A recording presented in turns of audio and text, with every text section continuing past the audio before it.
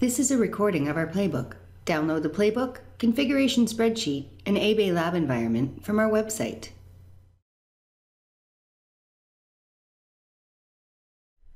Welcome to our whiteboard drawing, Enterprise 20 Dial Plan Build, Dial Plan for Mobility. In this drawing, we'll look at a dial plan for mobile users with multiple devices. We deploy Extension Mobility, Device Mobility, and Mobile Connect.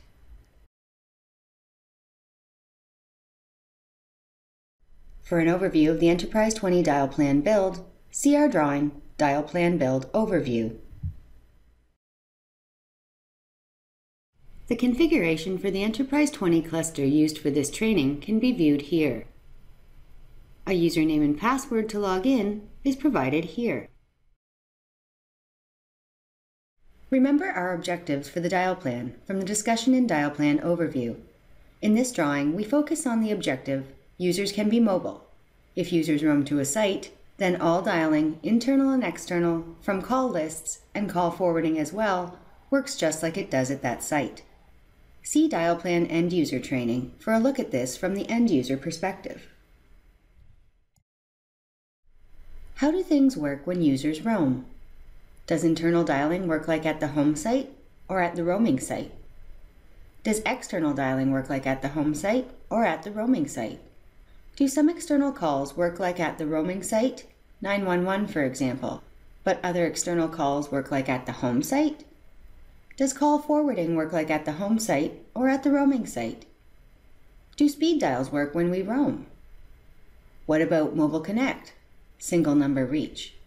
What about call lists? Can we still return calls with one click dialing? Do we send the right caller ID? So many questions. What about different kinds of roaming devices? Extension mobility profiles, soft phones like CIPC, and wireless phones, or even hard phones. Do all roaming devices work the same way? Do we want them to work the same way? We'll use the word roam for both devices roaming with device mobility and extension mobility profile logins. How do you want it to work? It's your choice to some extent, but remember, you need to explain how things work to users, and configuring and managing the solution has to be practical. And remember this the North American numbering plan is ancient. It was developed in the 1940s. For perspective, around the same time in 1946, the first general purpose electronic computer was developed, the U.S. Army's Ballistic Research Laboratory's ENIAC. In 1981, legend has it that Bill Gates said 640K ought to be enough for anybody. The NANP was in its fourth decade at that time, and that was 33 years ago. We can only do so much with such old technology. This drawing has four parts, about mobility, dialing from mobile devices, call forwarding from a mobile device, and AAR and CFR for roaming devices and final fixes.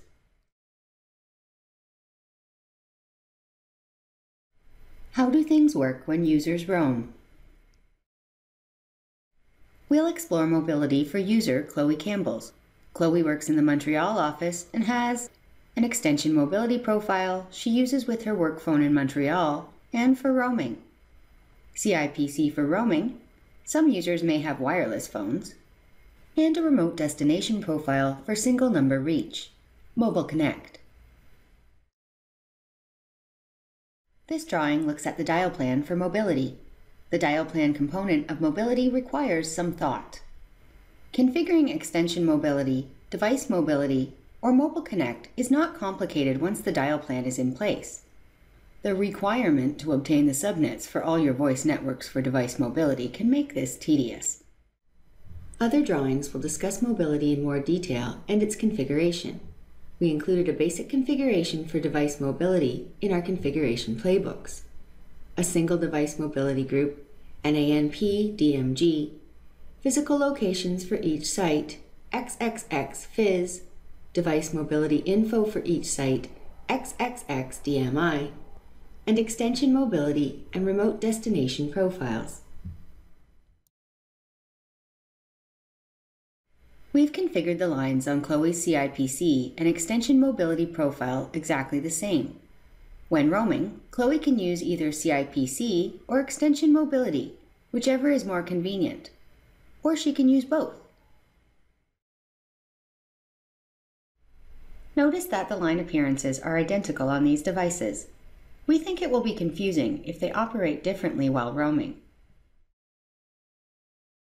Chloe's cell phone 514-460-0000 is configured as her remote destination. Remember, we need to put a 9 in front of this when we configure the destination number. This is what it looks like in the user web pages. When someone calls Chloe at 8 573 6001, her cell phone 514 460 0000 will also ring after a short delay. Let's test Mobile Connect. We'll call 8 573 6001 from Oakville. When we call Chloe at 8 573 6001, after a short time, her cell phone 514 460 0000 will also ring.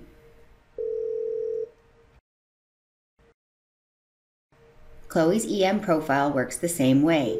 We tested it when line 8573 6001 was not shared with her CIPC.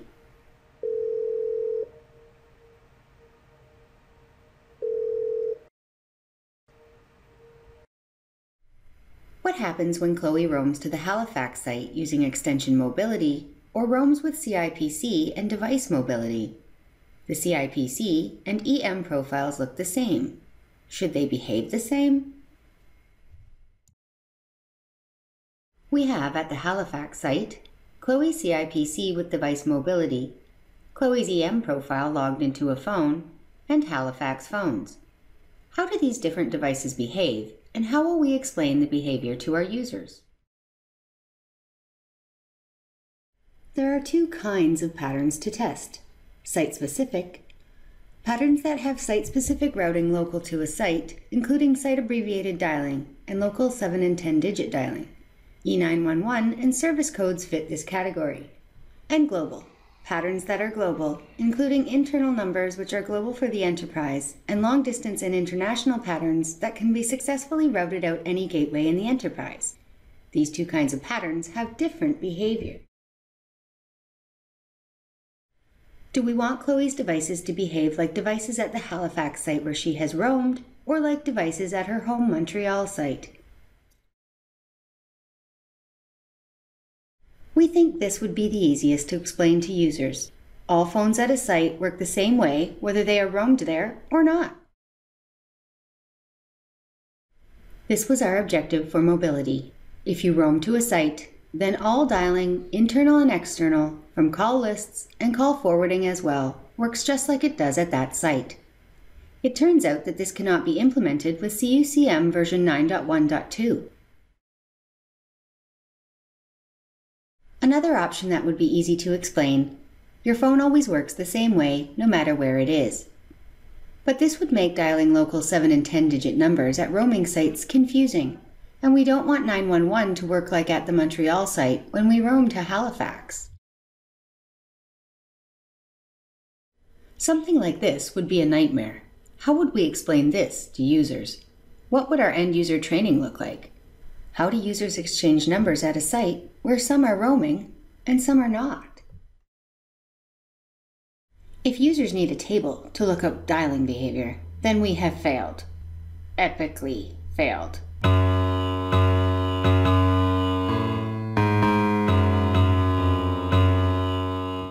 This has to be as simple as possible. Remember, we have calling search spaces on the line and on the device. This matters for mobility. There are two approaches to class of service, line device or blocking on lines, that's two names for the same thing, or traditional online. We're really not sure what they should be called because it's not really line only. E.164 is a special case we'll look at later. In this drawing, we look at the line device dial plan we've been working on in the Enterprise 20 dial plan build. The line device, or blocking on lines approach to class of service, uses both the calling search space on the device, phones in particular, and the calling search space on the lines. The device gets a site-specific unrestricted calling search space. The line gets a global blocking calling search space. Global meaning we have one set of calling search spaces to use for all of our sites. Because the line partitions take priority over the device partitions, we can take away calling privileges by blocking the patterns on the line. We looked at this in detail in our Blocking on Lines class of service drawing and then in the Patterns for No Delayed Dialing drawing. Does putting patterns on the line or on the device make a difference to roaming behavior? Patterns on the line always stay the same when roaming, Line partitions take priority over device partitions. Patterns on the device and the local route group can change when roaming. Extension mobility users always inherit the device configuration at the roaming site. And soft phones like CIPC and any physical devices that roam can use device mobility to inherit a device configuration from a roaming site device pool. Remember the patterns and dial plan hierarchy we built for device calling search spaces. Roaming users inherit the device calling search space of the roaming device pool. Each site will have a site-specific unrestricted calling search space XXX unrestricted calling search space containing the internal partition, the site-specific internal partition, XXX internal partition in the drawing, the NANP partition, and the site-specific external partition XXX local areas partition. We have a pattern with the XXX local areas 11 route filter to handle E.164 gateways. We remove the delay for 7-digit dialing by replacing the general 10-digit patterns with site-specific patterns for the local area codes using the 9.at with XXX local areas 10 route filter.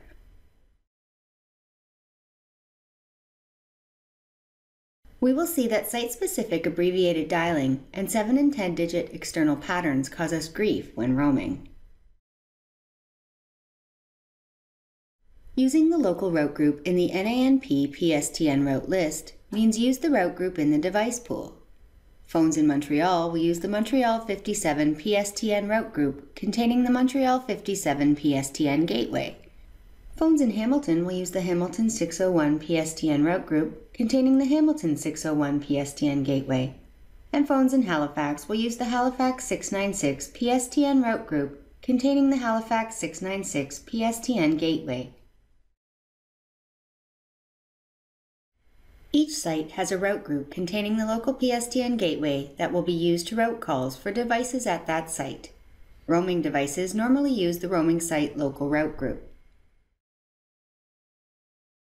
Remember the blocking translation patterns and dial plan hierarchy we've built for line calling search spaces. Roaming devices use the same global patterns configured on the line, wherever they roam.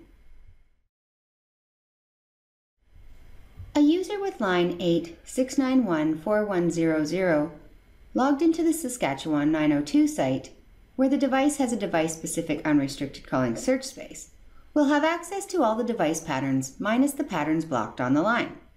A different user with line 86914127 logged into the Saskatchewan 902 site, where the device has the same calling search space, will have access to all the device patterns minus the patterns blocked on that line. Line calling privileges roam with the user. Here's the device configuration for Chloe's CIPC. The dial plan configuration elements are the device pool is set to Montreal 57 CIPC phones device pool. The calling search space is set to Montreal 57 unrestricted calling search space. The AAR calling search space is set to Montreal 57 PSTN gateway calling search space and the AAR group is set to NANP AARG. Here's the roaming configuration for the Montreal 57 CIPC phones device pool. All sites have similar configurations.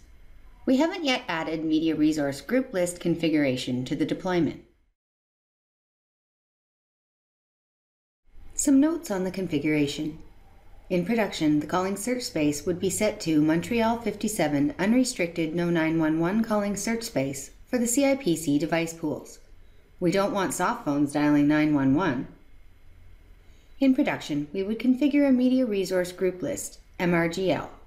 Extension mobility and devices roaming with device mobility inherit the site-specific MRGL. We'll get to media resource configuration in later drawings. Here's the directory number information and settings for Chloe's line 857360001. We set the line calling search space to line unrestricted calling search space so we can test dialing all kinds of numbers. We looked at two scenarios for call forwarding in our call forwarding drawing. A simple option where users configure call forward all and we configure all other destinations as go to voicemail and a more complicated scenario with additional requirements for user self-service configuration and additional destinations.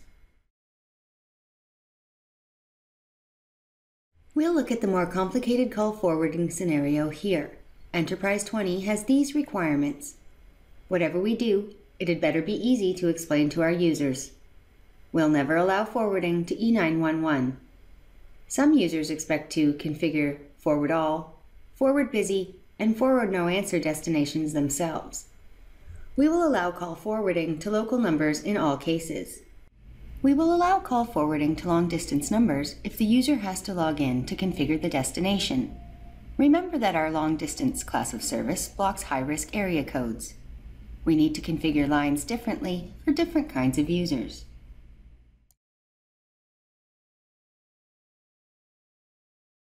This is what the Cisco Unified CM Administration directory number page looks like for a Montreal DN, with our call forwarding final fixes and the destinations initially set to go to voicemail.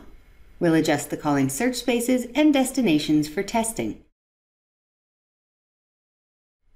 Here are the settings for Chloe's remote destination profile. The calling search space is left blank for the moment for illustration. This calling search space is used for mobile voice access. We'll talk about that in another drawing.